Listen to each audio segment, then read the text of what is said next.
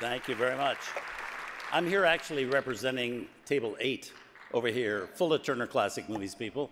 They were all uh, involved in the story of film, the history of film.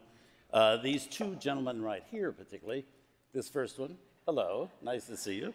Uh, Mark Cousins, he went, spent six years going to 120 countries, investigating their film industries, uh, photographing it, uh, interviewing, doing everything about it, and put this terrific documentary together in 15 parts.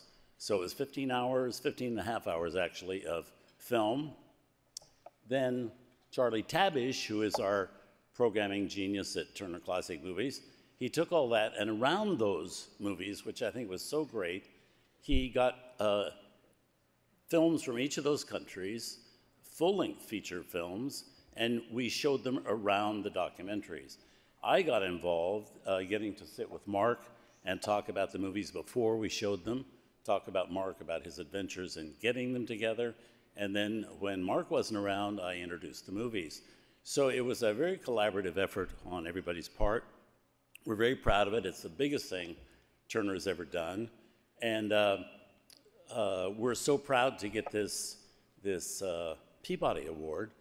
Um, people have called TCM the American Cinematheque, and I, I really kind of think we are now.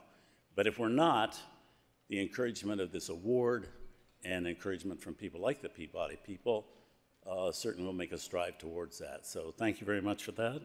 And I have to say, this is our 20th anniversary, and this couldn't be a better present for a birthday gift than this Peabody Award. So thanks so much.